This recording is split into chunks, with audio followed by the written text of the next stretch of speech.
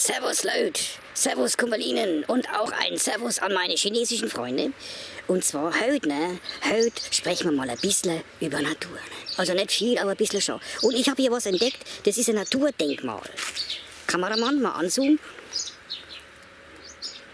Also, ich zeige euch gleich einmal Franzosenlinden.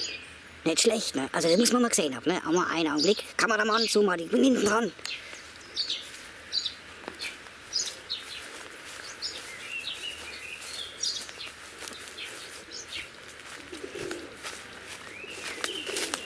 So, und jetzt, jetzt schauen wir mal auf, ne?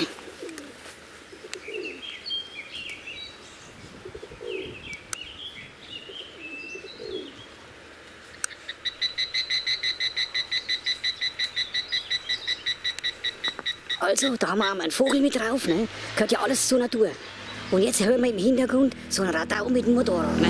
So ist es halt. Aber die Natur ist für uns doch immer noch das Wichtigste. Ne? Und damit möchte ich mich verabschieden. Nicht verabschieden für heute mal. Ne? Sag ich Servus, macht's gut und tschüss.